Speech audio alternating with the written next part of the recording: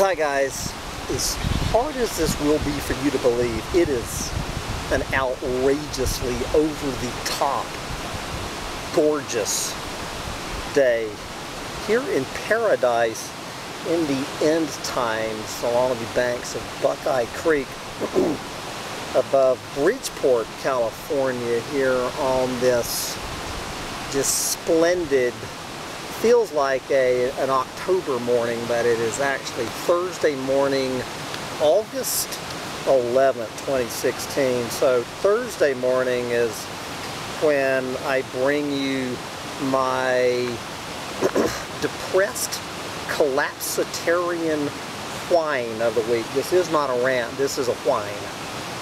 Okay, and anyone who wants to sit around and listen to some old depressed collapsitarian whine for I don't know how long I'm going to whine for, how long I'm going to around, but you're welcome to sit around and listen uh, as I celebrate five weeks today, so I'm on day 36 today of my sojourn in the wilderness, being alone in the wilderness. So this is close enough to 40 days in the wilderness to have this whine. But I'm going to kick off this whine with this unintentionally hilarious, you can figure out why, quote from my Humpty Dumpty Tribe hero, John Muir, from about a hundred years ago, probably wrote these words right up here in Yosemite, about six miles as the jaybird flies from here. Climb the mountains and get their glad tidings. Nature's peace will flow into you as sunshine flows into trees. The winds will blow their own freshness into you and the storms their energy while cares drop off like autumn leaves. There you go. Thank you, John Muir, for uh, telling me how my cares will drop off like autumn leaves if I will just get up to the fresh air and, and the sunshine of the high Sierras, where, as I say, I have now been for five weeks, heading into my sixth straight week alone in the high Sierras. Well, of course, I've got the company of my little dog, Sancho Panza. I don't know if John Muir had a dog with him or not. So, uh, anyway, what have I been thinking about? What is your old depressed collapsitarian? What has been going, rattling through my tangled brain over the past week since my last one of these whines a week ago? And I, and I want to clear up a misconception from my last whine, just in case any of you have, who listen to that, have some misconception that I am out here in paradise suffering some dark night of the soul. I, I just want to lay that concern to rest. Uh, it's not exactly like I've been curled up in a fetal position in my tent uh, 24 hours a day out here in paradise. Uh, my own dark night of the soul and I have had a few in the past. I foresee that one, I don't know, about six weeks out.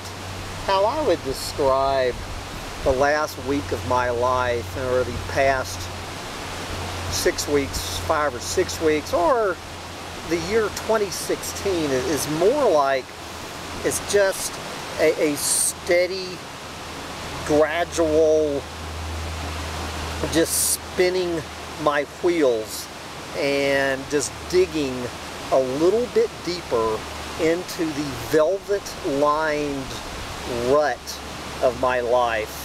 Uh, the, the noose around my neck just tightening a little bit more, the sword of Damocles descending millimeter by millimeter towards the top of my tangled mine. And of course, I, I look at this being an eco-Nazi.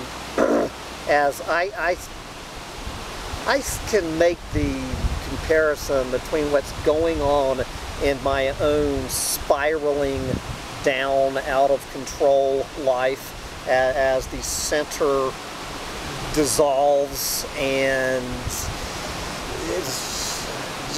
just as I begin to literally crack up here in the end times. This, of course, is a my own little microcosmic example what is happening on a planetary level. I would describe the situation on the planet here in the middle of 2016 pretty much as the planet, like myself, digging ourselves that much deeper into a rut, velvet lined or not, that's going to make it that much more impossible to ever get out of as the planet eaters in the New World Order tighten their noose around uh, everybody in on this, every living thing on this planet. And as the sword of Damocles moves a little bit closer, so 36 days alone in the wilderness, and this really is the most the most isolated I have ever been in my entire life, right here in the most populated state in the United States of America. Uh, I'm, I'm a lot more isolated here than I ever was in the Peruvian Amazon jungle, for instance. I'm sure as shit a lot more isolated here than I was in St. Croix uh, for the first half of this year, living in my tent up in the jungle there. So if depression if, if one measure of depression is how many meals you have eaten alone without breaking bread with a fellow human, since I only eat twice a day instead of three times a day, I guess I'm up to, what, about 72, 73 straight meals that I have eaten alone well, except for my little dog begging from me. Uh, I have not spoken one word on a telephone with a single human being that I know. This is the longest stretch in my entire life that I have ever gone without literally having a conversation with you know a friend or a family member. Now I've gotten a few short emails. Don't get me wrong. Uh, so anyway, here I here I sit with my tangled brain. And one thing I've been doing, filling up my time, is reading a lot of good books and including Earth Odyssey, the number one best Bible of the Apocalypse. It's one of the all-time great ones. I'll come back to it on Sunday, but this book and and several others I've been reading have been talking about where the authors have visited sub-Saharan Africa. Sub-Saharan Africa trying to describe in words what uh, this fellow, Mark Hertsgaard, calls the indescribable squalor, the, the absolute living hell that they witnessed in sub-Saharan Africa that is literally beyond their ability to put into words to make even a welfare recipient in the United States understand the level just of the uh, of the ninth ring of hell. At hundreds of millions of people it looks like oh, we have a B-52 bomber coming across Bridgeport uh, California here. A couple of B-52 bombers. There you go. So anyway, uh, as, I've been reading these descriptions uh, uh of this indescribable squalor in sub-Saharan Africa, you know, these authors and so many other people uh, allude, you know, in talking about this, about how and, and, and, this you hear from the, these clueless morons who have never been depressed, trying, I guess, to, tr trying, this is how a clueless moron who's never been depressed, I, guess they're trying to cheer up a depressed person by, by acting like, you know, dude, you have no right to be depressed. You could be a sub-Saharan African living in a UN refugee camp in South Sudan. And because you are not living in a UN refugee camp in South Sudan, you have no right, you have not earned the right to be depressed about your own teeny weeny little life or the state of the planet. So I guess this is supposed to make a depressed person feel better that uh, yes there's hundreds of millions of our fellow humans if not probably and in my guess three or four billion uh, of our fellow humans living in indescribable squalor and that you're not one of them you should be happy. You, you, you, you have not earned the right to be depressed. You know, just the sick, twisted laugh I get out of that, which gets back, I've had this rant about gratitude. guys, you know, for, for any clueless moron who's never been depressed, who doesn't understand this, you can be grateful, okay? you, you can be grateful, as I am, that you're not a sub-Saharan African living in a UN refugee camp in South Sudan and still be depressed. As, as I said last week in my rant, and I will repeat, probably the number one reason I do not kill myself is out of fear that I might be reincarnated into a sub-Saharan African. If, if I take myself out and reincarnation turns out to be real, there's a three out of four chance that's exactly where I would be reborn is in sub-Saharan Africa. It's the one thing keeping me alive. So yes, I, I am very grateful uh, that I, I am not a sub-Saharan African, yet that does nothing to allay my desire to go to sleep tonight and never wake up again and just have the lights turn out. They're, they're two separate things, guys. Okay? it, it is sub-Saharan Africa, those people living in that squalor are just one of the many reasons that I am depressed, that I am a depressed collapsitarian. And uh, getting, you know, and, and, and getting back to John Muir here and that quote I just read, and, and, and, and guys, again, uh, all of these little platitudes about gratitude that uh, about gratitude and depression.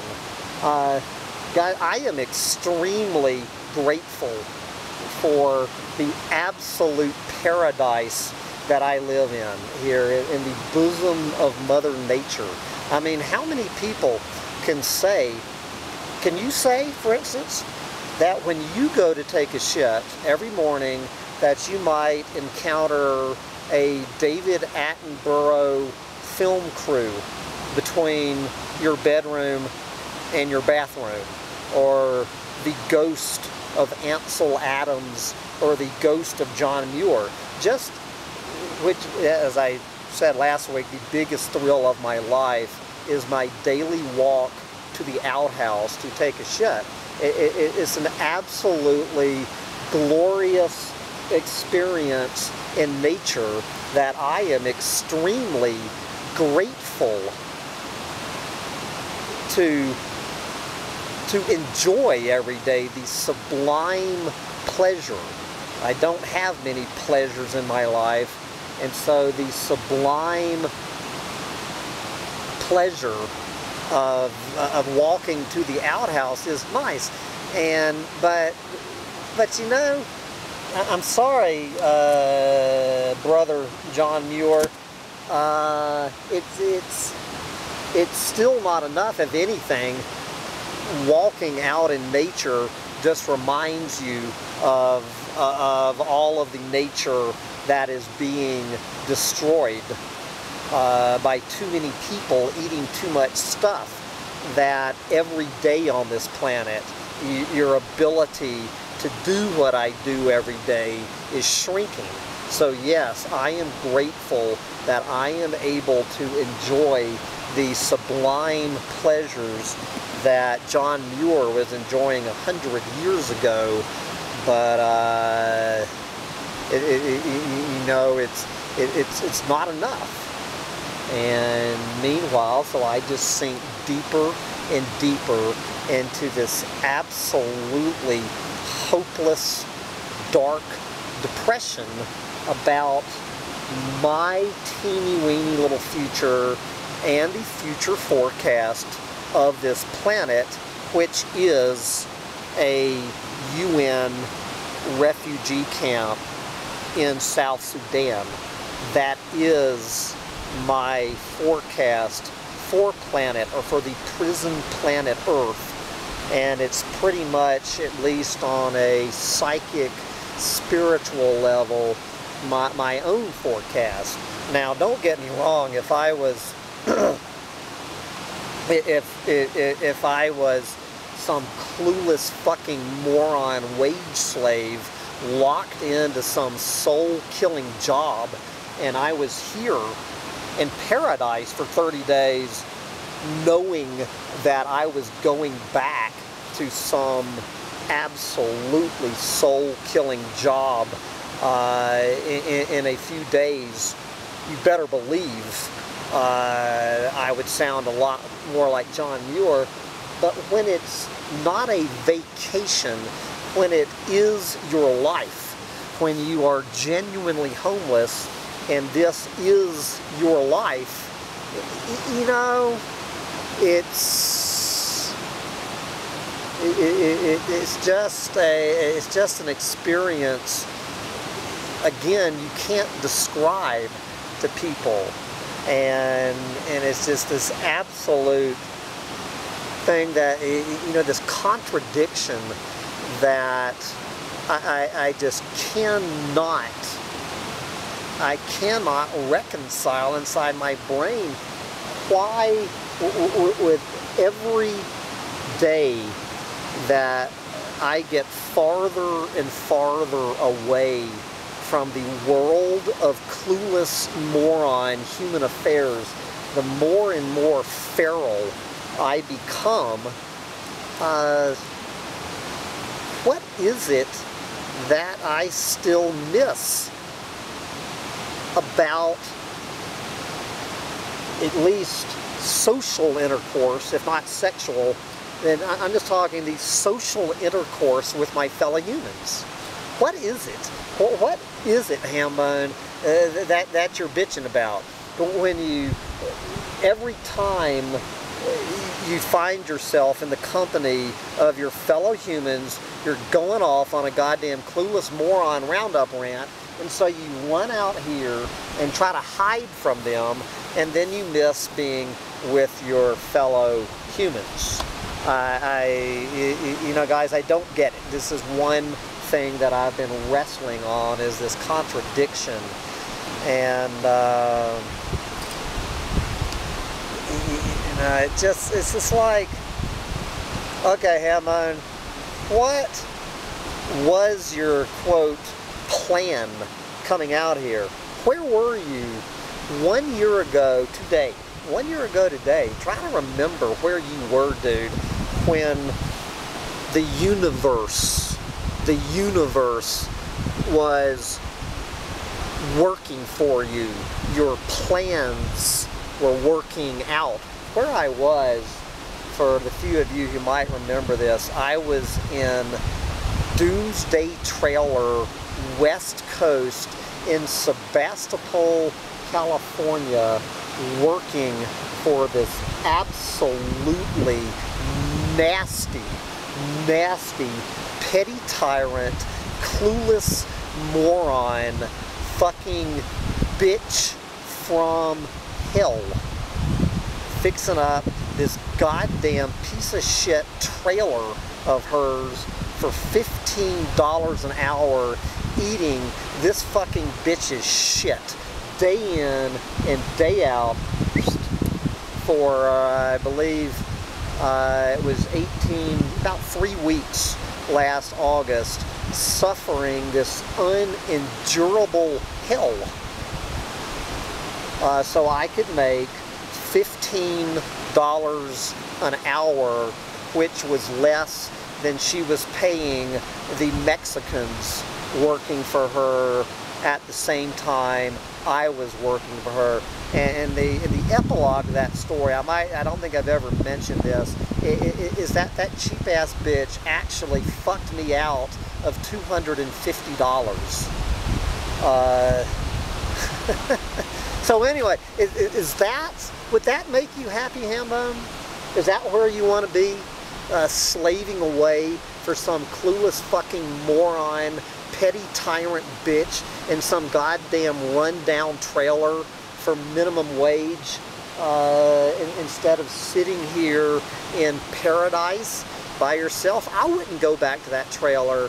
That bitch couldn't get me back there for $500 a day, much less $100 a day. So it's just like, uh, I, you know, what, what what's going to make you happy, dude?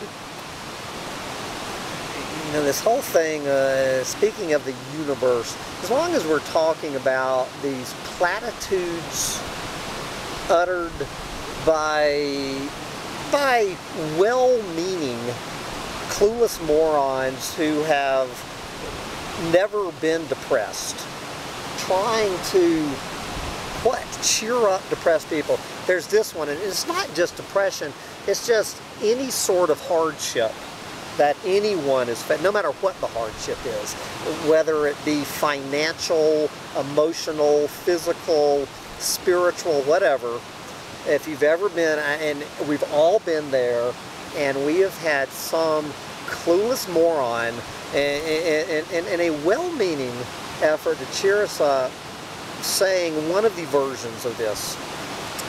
Put it in God's hands. Put it in God's hands. Uh, or if they're not a clueless moron, wacko religious fanatics, then it's turn it over to spirit. Turn it over to spirit. Or let the universe handle it. Spirit, universe, God, choose your word. You, you, we have all heard some version of this when we were stuck in a rut. Velvet line, though, it's not that the, the advice to get out of this rut is to just turn your troubles over to, and I will choose the universe, but put your own word in here. Uh, so anyway, so last year, I trusted the universe coming out here to California uh, on a on a lick in a prayer, uh, and the universe came through for me. If if uh, slaving away in, in a rundown trailer working for a petty tyrant, clueless moron bitch. To that level, uh, the universe actually worked out for me. So this year, 2016, let, let, let, let's look at it. Uh, first, when I was down there in St. Croix trying to figure out 2016, it, uh, I turned it over to the universe. And good God, what the universe, I haven't even told you this story from St. Croix yet, what really went down there this spring. And what happened? So I turned it over to the universe, oh, about the 1st of April. April Fool's Day. And what did the universe do? The universe fucks me. And I said, okay, universe, you fucked me on this one. So what did I do? I went and I turned my life over to the universe a second time and came out here to California making the clueless moron assumption that since it worked last year, it was going to work again this year. And guess what? The universe fucks me. And so now, what am I doing? Since I have no other choice, I'm turning it over to the universe. A third time in one year, I'm turning my life over to the universe. And while I won't exactly say that the universe is fucking me right now, uh, as I say, my own uh, forecast for the rest of this year and the rest of my life. Uh, I'm losing faith in the universe. But, but obviously, guys, uh, the wisdom that, that I've come up with here in, in uh, the past five weeks is peeling back the layer of the onion one more, one more layer. Guys, the universe has not fucked me. God, the universe, spirit, has not fucked me uh, this year any more than the universe or God or spirit answered my prayers last year. I understand this. This is one thing I have figured out being a depressed collapsitarian is, and, and, and I got some news, uh, news flash for anybody turning their teeny weeny little lives over to the universe or advising their depressed friends to do that. Newsflash, the universe does not give a fuck about your teeny weeny little life. Do you get it? God does not give a shit about your puny little life. The, the only reason uh, that, that you are the spoiled little brat pig overstuffed American consumer that you are and that you're not living in, in, a goddamn UN refugee camp in South Sudan is just a, a complete throw of the cosmic dart. You are not being rewarded through karma. Karma does not give a shit about you, your depressed friends, that, that, that the adorable little planet nibbling bundle of joy of yours. You know, it, the, the universe could care less whether I or you are, are living in a fucking mansion in Beverly Hills or a UN refugee camp in South Sudan, eh, you know, pull your head out of your ass. Uh, talk about being egotistical, thinking that the fucking universe or God gives a shit about your teeny weeny little life. You know? Get so sick and tired of it. Uh, you know, hear, hearing this shit. I mean, that this song, uh, "Busload of Faith" by uh, by Lou Reed. If you if you have never, if you're any sort of a depressed collapsitarian and and are not familiar with the CD New York Stories, New York Stories by Lou Reed, one of one of the great uh, depressed collapsitarian uh, anthems of all times. New York Stories by Lou Reed, every song on it. This song, Bus Load of Faith, that you're going to need a bus load of faith to get by. And what Lou, it was definitely a depressed collapsitarian, was talking, he was talking about this in, in this song and on throughout this CD, this very thing, about how you can't depend on anything. And, you know, you can't believe your own mother. They, they, you, you just can't depend. But, you know, as he points out, I think it was in Busload of Faith, uh, that you can't depend on the worst always happening. You know, sometimes things actually work out for the better. Sometimes they work out for the worst. You cannot count on anything that you have no control over it. It is completely beyond your control how things turn out. Uh, and it takes a busload of faith to get by, just to get through the goddamn day. If, uh, as uh, Woody Allen, I've mentioned this many times, you know, his, his point about this is if you can just stay in the camp, in the camp of the basically miserable and not in the course of your day or the course of your life actually tumble into the truly horrible,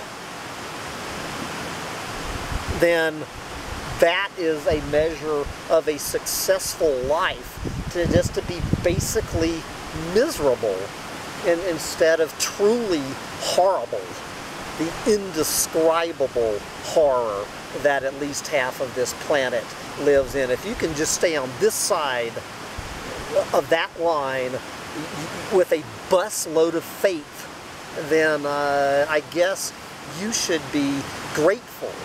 But if you're counting on the fucking universe to, uh, if you're handing your life over to the universe or God or spirit uh, to have things turn out for you. Good luck. Goddamn egotistical, conceited, hopelessly clueless moron. And uh, so here I sit, and that's heading in to the sixth week of isolation here in the wilderness. And guys, I honestly don't know, I honestly, literally do not know where I am going to be the day after tomorrow because there's a little whisper from Spirit that it might be time for me to pack up my tent and head back to the city. You know, I, I, I love this. The, the, the last time I was with friends, this friend of mine is not a clueless moron, just asking me just to make conversation. You know, so Hambone, where are you going to be next winter? What are your plans for next winter? And, I just looked at her and I laughed and I, eh, eh, plans for next winter? I don't know where I am going to be or what I am going to be doing next week, much less next winter. Next winter, six months from now, is just, it is, good God. You, you know, and uh, this, this, this other thing that has been rattling around in my brain, and this will be the last thing I talk about in this whine since I realize I'm talking to myself, is, you know, the, the and, and I love my friends dearly. How many times have I said this? But guys, it's just, you, know, I'm just more and more like, oh, okay, Hambone, if you could snap your fingers and be sitting around a dinner table, have breaking bread, having dinner and drinks and whatnot with a bunch of your clueless, lovable, moron friends back in Austin, Texas. Just put yourself in this social intercourse situation with people you love and who love you and breaking bread together. Uh, what would the, the, what would the, subject be going around the table? And, and you know, I've just, I've just lost the ability to have social intercourse. You know, what, what, what, are, what are people talking about? You know, at my age now, a lot of anybody, you know, with, with their grandkids. I have this, you know, this one friend, one of my best friends on the planet she, her life has been uh, completely uh, co-opted by this little two-year-old which is all because her daughter is the spawn of Satan and, and, and her fucking whore junkie daughter just tossed her child, her illegitimate gangster child off on mama just like she did her pit bull a few years ago. So now my friend's life has been ruined by the, this fucking little two-year-old bundle of joy. And, and, and, you know, getting there, showing her little pictures on her smartphone uh, of her cute little bundle of joy, two-year-old, and, and, and I'm just sitting there, just biting my tongue, just not uh, erupting to uh, to talk. You know, when she's talking about her little adorable bundle of joy two-year-old. That I that that that, that I, I just it's it's everything I can do, guys. Not to say you do realize, darling, don't you, that your little two-year-old planet-nibbling bundle of joy in, in the course of his lifetime is is minimally going to be witness to, if not a direct victim of, uh, of a series of unimaginable horror that he has to face as any two-year-old on this planet is, is, is going to suffer the level of horror in, in their lifetime. That your clueless moron imagination cannot imagine. I'm talking Dante's ninth ring of hell You know, wouldn't wouldn't that go over well? And then of course, there's they start bringing out their fucking smartphones, sharing their little photos, going on Facebook while they're sitting there in, a group of their own friends. So, uh, what am I going to say? What, what do I have to say to these people anymore? you know, talking about their home improvement plans, their vacation plans, their little planet nibbling bundles of joy. So I guess I have Sancho Panza to talk about. The one joy in my life is this little dog. So I'm thinking, guys, what we need to do here, we need to have a, a, a Humpty Dumpty tribe meetup, a, a depressed collapsitarian meetup uh, sometime in the next year.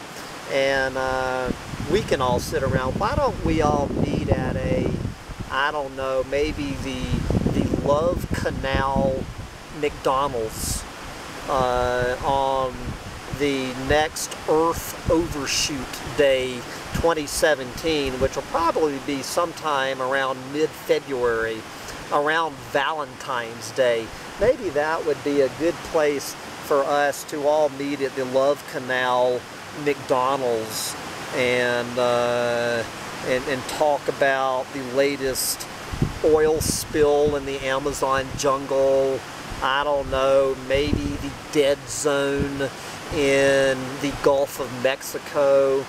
We could talk about, oh, Paul Beckwith's latest YouTube video about the uh, climate crisis this planet is in. I, I you know, I, I think it, it, could just, you know, may, maybe we could even get a pitch in our money and get uh, Guy McPherson to come talk to us about how uh, humanity and this planet are going to go Venus and be extinct in uh, 14 years from now. And wouldn't that be fun? Wouldn't we be a barrel of monkeys to hang around with? But uh, I've got my own little, my own little joyful monkey to hang around with now that he is saying, Pop, wrap it up. It's time to take a walk to the outhouse so I can find some chilies. Yes, anybody who is a depressed collapsitarian, all kidding aside, if you don't have a dog, go to the pound like I did and let a little dog pick you out the one thing the universe has done for me, the one blessing the universe has bestowed on me in year 2016 is my little emotional support animal and my sidekick, Sancho Panza. So Sancho Panza and I are going to head up the creek to the outhouse to talk to the ghost of John Muir for this rambling, depressed, collapsitarian whine until next week. Bye guys. Bye guys.